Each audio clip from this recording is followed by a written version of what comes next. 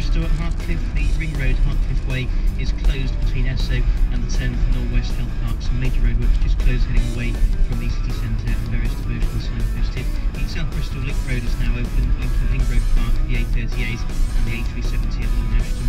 Rupert Street in the centre of Bristol, that's very slow for the roadworks coming from St James Park roundabout towards Senator.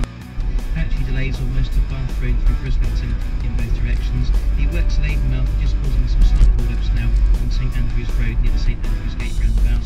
Yates on Peg Hill, that's partly blocked off by a collision in Tesco. It was really slow through Cornspring on the A370 Bristol Road towards the motorway, but it's now starting to ease.